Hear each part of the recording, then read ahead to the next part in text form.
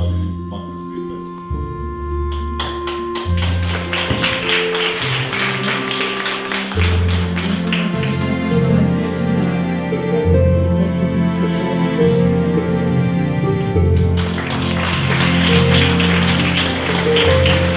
Šuma pug je gorčevina. Osjećam duše ženskih predaka koje su nastradale od muške ruke. Zakačile se za mene kad sam krenula u Beograd i neće ni one kući. Govore mi, seci ih kao pihtije. Pogledom ili kuhinskim nožem. Možda perorezom koji nosim u džepu. Hoću, samo ne ovog, naročito ovog, naređuju. Od svega što sam na svetu mogla biti, bila sam samo žensko, priča Radovanka. Pse na selu nikad nismo ocenili, a biti žena bilo je gore od psa. Tvoj pradeda je bio kao izvor, kaže Dobrosava, hladan i prek. Spavali smo u kaci za rakiju kad me doveo, vešao me kao mačku koja je pojela sve piliće, a sve je to i bilo zbog rakije.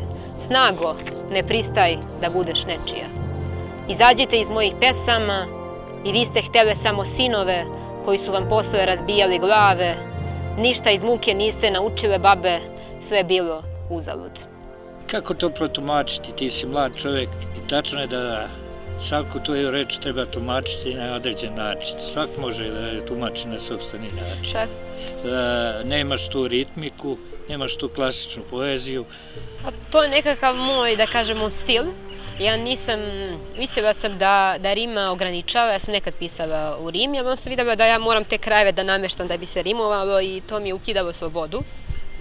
Takođe, htjela sam da u poeziji mojoj postoje nekakve metafore koje već nisu, nisu ljudi čuli. Znate, ono kad čujete neko opšte mesto pa ne izaziva u malo ništa posebno, ali ja sam htjela da tako postoji neka domišljata metafora pa duhovita, da ljudi prosto i koji nisu e, doživjeli stvari koje je doživeo lirski subjekat u ovoj zbirci, da i njima ta nekakva devojka koja se predstavlja bude zanimljiva, duhovita, da, da ona ne ide na nekako samo sažaljenje, već na samu ironiju, da ona iz te neke teškoće ipak pobedi da pokaže svoju hrabrost i duhovitost. Kaže se da dobra poezija mora da se rodi iz neke velike tuge, iz nekog velikog nezadovoljstva. A ne može da se rodi ako je sve potrebno. Da li je to istina? Pa da, ja mislim da je, da biste stvorili nekakvu umetnost, morate u sebi imati nekakav sukob. Sad ja sam portretisala taj sukob celog grad, taj sukob muško-žensko, nasleđeno, novo i tako dalje, ali prosto mora da postoji jedna vrsta tenzije u čoveku, da ne bude nešto kako treba, da bi se prosto umetnost rodila. Tako da mislim da tuga jeste ovako dobar prijatelj umetnosti. Govorili su mi da je Beograd grad u kome nikog ne smeš da pogledaš u oči. Ja sam šmeker devojka, imam perorez u džepu i žice u bruskalteru. Ne znam da pričam o filmovima, znam kako se sade luk i grašak i da točkovi traktora idu samo pravo kad nestane ulja za hidrauliku, ali njega to ne interesuje. On je muškarac dama. Ne zna kako funkcionišu porodični sistemi sa sekirama, vilama i grabuljama, zna koja su vina dobra, koji kaputi preplaćeni, ali mene to ne zanima. Mala zajebi kaže, ja se setim kako je vrućina bila velika tog leta u Malinama, a cena niska, pa smo blokirali prugu, prevrnuli Maricu i da je jedan iz žandarmerije imao isto tako sjajne oči i pogled koji pomera kašike. Bilo je naređenje, ne sme se probiti kordon, ali cena je bila niska, nismo mogli radnike da isplatimo i sve su to bili neki muškarci, dame u oklopima koje su žene iz mog sela probijale kamenjem. Tamo gde sam odrasla, nežnost se ne iskazuje prema ljudima. Ona se čuva za mačiće što se okote u štali. Tamo naučiš neke fore, onda odeš daleko i tražiš muškarca koji na njih ne pada. Kad ga sretneš počinje rat za koji nemaš nikakvu strategiju, zato što je ljubav jednostavna, a ti si pre svega devojka i u neke bitke ne ulaziš da bi pobedila. U prvoj e, zbirci se govori da je e, lirska junakinja ove knjige preživjela sasvim slučajno i to tako što je seoska proročica zapravo e, namerno, pogrešno predskazala da je to treće dete zapravo muško. I lirska junakinja duguje svoj život jednoj takvoj omašci. Međutim, um, ono što je jako važno jeste e, da je ovde izražena zaista neverovatno jaka ironija prema tom jednom socijalnom okruženju koje je puno hipokrizije prema položaju one koji su diskriminisani, dakle u ovom slučaju najviše žena, ali tu su i sve druge socijalne kategorije, stari ljudi, mladi i tako dalje, e, e, da je to zapravo sve urađeno kroz jedno vanredno o, inventivnu ironiju koja se često širi u domen pesničke slike. To je ono što daje e, taj trenutak e, poetskog u ovoj poeziji, a idijom kojim se ona služi, dakle, jezik jeste blizak e, svima nama, to je onaj govorni jezik koji i tekako čuva svest o tome šta je zapravo u tom jeziku pesničko i poetsko. Dobro, reci mi kako si, znam tu priču tvoju da si bila neželjeno dete, da su vračara spasili. Pa da, postoji ta priča koju sam ja ovaj, saznala da roditelji su htjeli prosto naslednika, naročito otac muškog.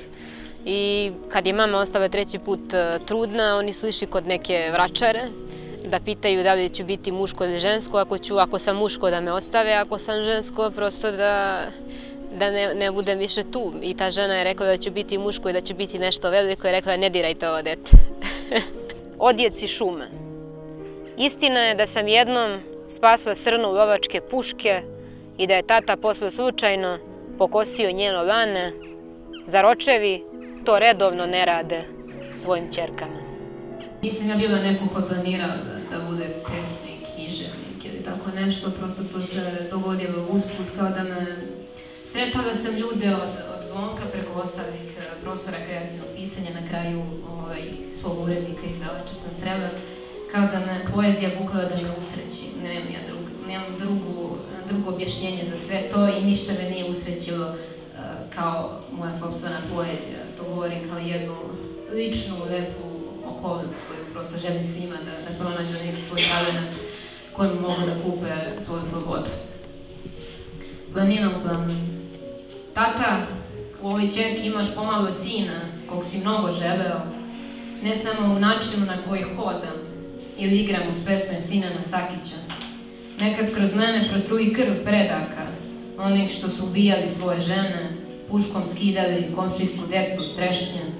Možda bih i ja mogla rano da upregnem volove, dugo gradim ono što ću kasnije da polupam. Šta to natera čoveka da krene na sobstvene snove, Čekiće? Mogla bih se probuditi i reći, ženo, ispeci mi kokošku za ručak, danas ništa neću da radim, sanjala sam da sam Bog. Tata, u ovoj čerki imaš pomalo sina koji se nije rodio, spasena je jedna žena muške krvi po kojoj plivaju čuske. Znači, ima li šmekera za šmeker devojku? Sudbina uvek namesti da nađete sebi pravu osobu za život. U stvari, to je nada da ćete naći. Neki ne nađu ali ja se nadam da, da će biti. Napisala si već te zbirke poezije, možda će se ogledati i u nekim novelama, proznim delima, romanima i šta ja znam, e, književno vreme je pred tobom.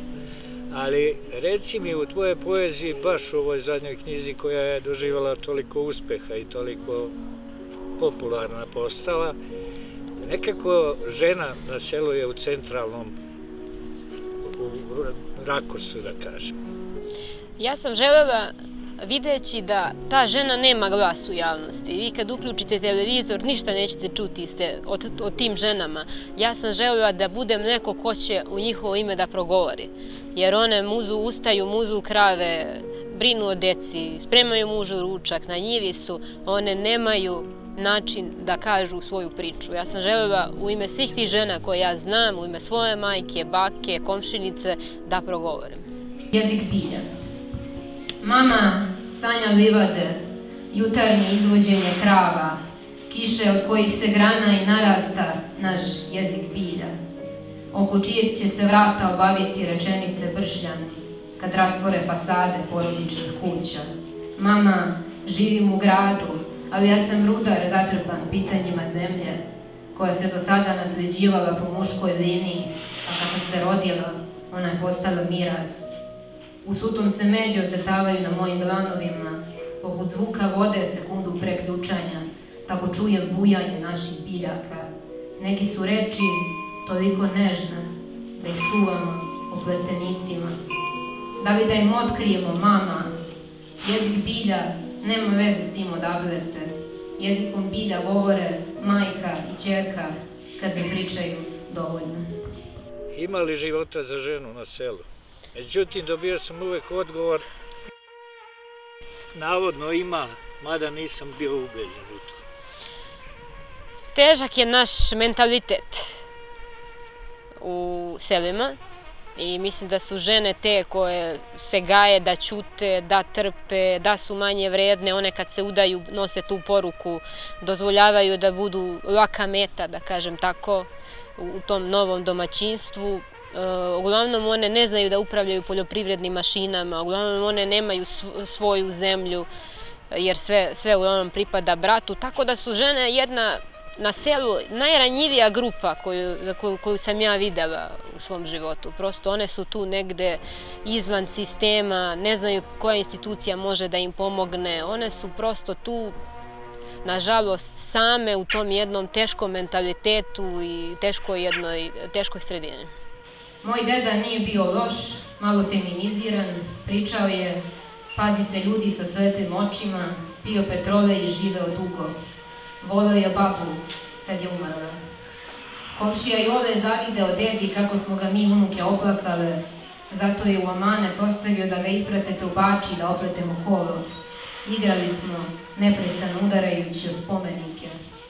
Dok su gradska deca pokušavala da budu cool, meni je Jove najlon džak punio slamom i gledao kako se sankam iz livadu. Nije umeo da čita i piše, toga se stideo, govorio nije bilo mogućnosti. More rado, nije bilo ničega. Jove, ja čitav život znam samo za školu, a ništa me nije naučilo. A po tebi, kakav je recept za uspet mladog čoveka u ovoj našoj sredini? Ima li ga uopšte? Lakše bi vam rekla koji je, koji je recept za poeziju, ali generalno problem ovog sistema je što je on slomljen sistem i što se mladima šalje poruku, poruka da oni treba da love u mutnom da bi nešto, da budu u političkoj partiji, da, da bi nešto postigli, tako da nažalost nema nekakvih jasnih koraka kako bi mlad čovek mogao da sledi i koji bi ga doveli do uspeha, već jedan deo lovi u mutnom i zaradi neki dobitak, ali u celini mi nažalost u ovakvom sistemu svi gubimo, tako da ono što mlad čovjek se uglavnom razočara kad shvati kako stvari trenutno funkcioniše. Mi smo prosto jedna internet e, generacija. Mi smo navikli da je sve instant, da kad gledamo film mi prebacujemo sa petog na 55. minut, prosto smo tako rasli i logično da imamo nekakve drugačije navike. Međutim, mislim da kad bi postao jedan pravedan sistem, da bi mladi ljudi i tekako sledili pravila. Ali prosto kad kad vam se šalju loše poruke, kad vidite da su najviše uspjeli ljudi iz vaše okoline koji su u političkoj partiji, a nemaju nikakvo obrazovanje, onda šta ljudi da, šta mladi ljudi da, da vide? Znate, mladi e, uče ne po onome šta vi pričate, nego po onome šta oni vide kako se vi ponašate. Moja mama zna šta se dešava u gradovima. Moja mama nema sina, nema overenu zdravstvenu knjižicu, njeno srce nije od čelika. Surutka joj teče pod prstima, Samoća se razlistava u stabljike kupusa i samo je motika ostavlja bez daha. Ona zna da su tatine ruke armirani beton, reči crni luk blizu očiju, razume jezik bilja, ima odgovor na pitanje zemlje, ali ćuti. Ovde čudan znači dobar, a budak znači smrt. Moja mama nema sina da je zaštiti. Razumno je bilo jedino napustiti nas, naopako mama, šta bi tek od mene bilo da si otišla. Šta se može očekivati od devojke sa perorezom u džepu u narednom periodu Da li će to biti nova zbirka poezije, proza, roman? U narodnom periodu najskorije nova zbirka poezije, nakon toga nešto za pozorište, a nadam se drama, obzirom da do, do mnogo, mnogo ljudi iz pozorišta su me već zvali da napišem nešto da ponudim prvo njihovom pozorištu, tako da ću sigurno se oprobati u drami, a u nekoj daljoj perspektivi nadam se i nek, nekakav roman. Hvala na razgovoru i nadam se da ćemo opet razgovarati.